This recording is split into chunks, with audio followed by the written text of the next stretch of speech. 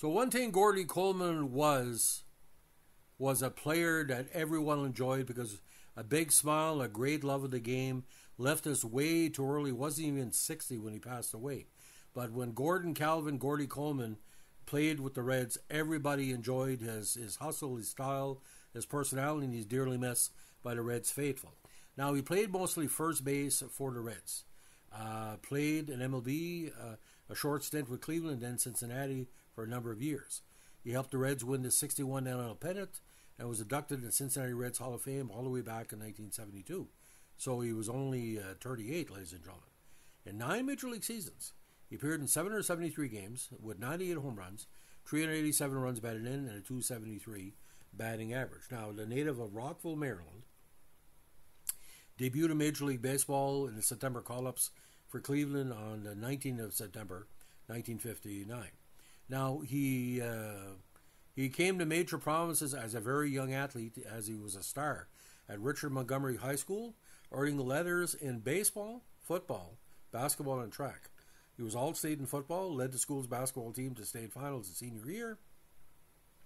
And in baseball, he excelled as both a pitcher and, of course, a hitter. Now, when he attended Duke, he was on a football scholarship, playing both baseball and football as a freshman. However, he was signed as an amateur free agent by the Indians prior to 53 season at age 18 and assigned to the Reading Indians of the Eastern League. He was an outfielder until being converted to a first baseman in the spring of 56. However, the Army called. He was out of baseball in 57 58 while serving the U.S. Army at Fort McPherson, Georgia. Now, uh, with a highly anticipated return to baseball in 59, it was with the Indians' AA affiliate, the Mobile Bears of the Southern Association, for whom he had played in 56 before going to U.S. Army. There he won the Triple Crown with 30 home runs, 110 runs batted in, and a stellar 353 average, earning promotion to the parent club.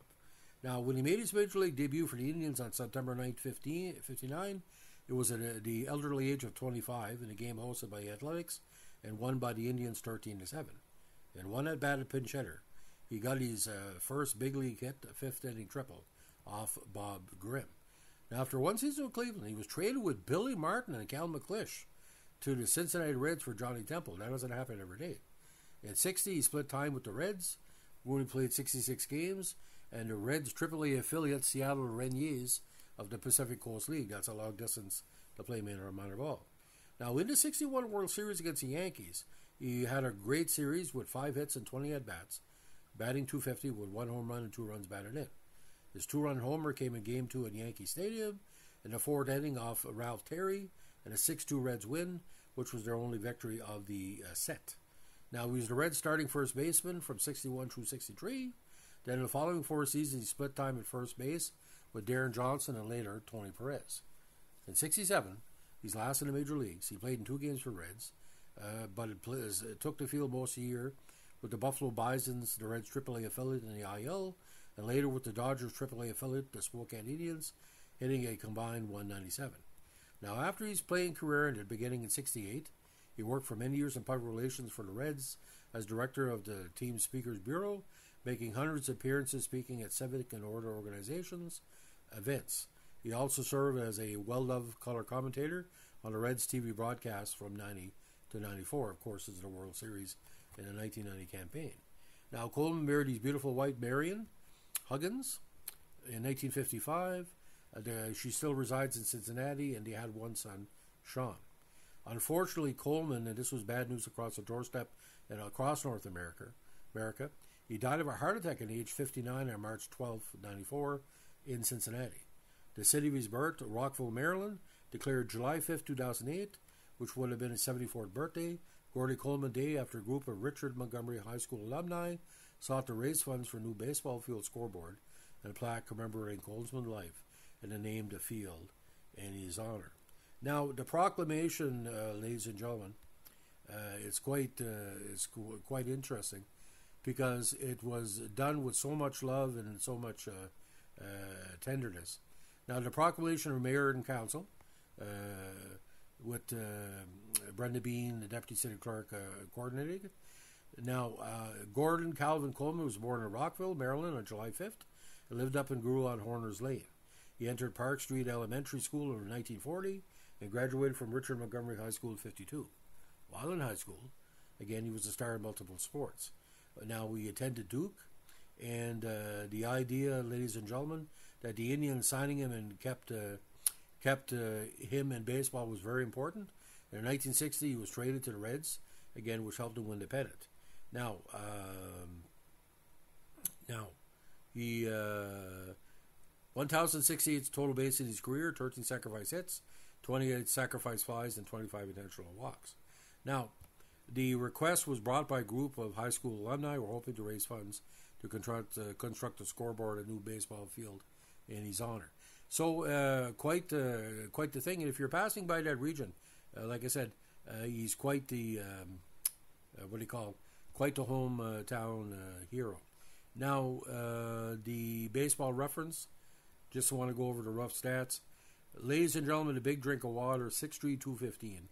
The best season, in my perspective, has to be the 62 campaign. 28 home runs, 86 RBIs, uh, batted uh, 277. He was a career 273 hitter. Now, he didn't break uh, 700 hits, but uh, of his 650 hits in Major League Baseball, 98 were home runs. He had 102 doubles, so a good, a good uh, uh, power hitter, ladies and gentlemen. Now, the the the idea about the 62 uh, postseason, just the rough stats here: uh, one home run, two RBIs, 250 batting average, and uh, again eight total bases. He played in all uh, five contests. So uh, and again uh, a good fielder as well, with uh, a 990 uh, fielding uh, fielding percentage.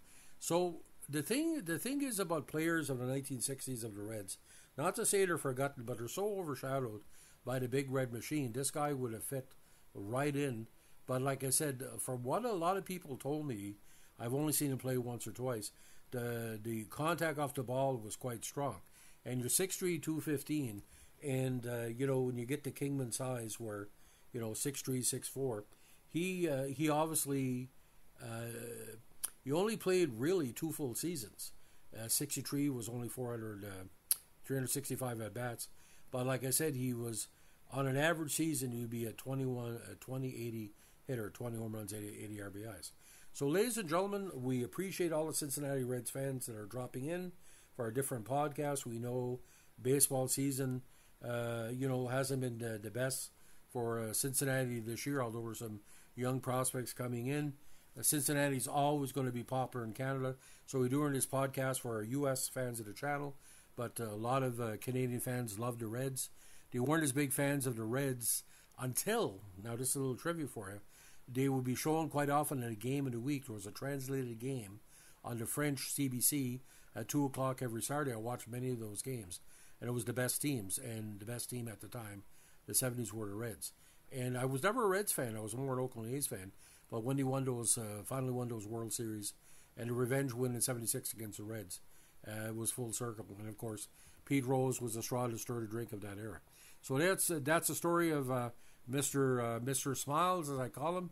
Uh, I'm always impressed with uh, any any baseball player that smiles heavily because they probably know something we don't. If you like what we're doing here, we're a tribute podcast. Let us know with a like, comment, subscribe, or share.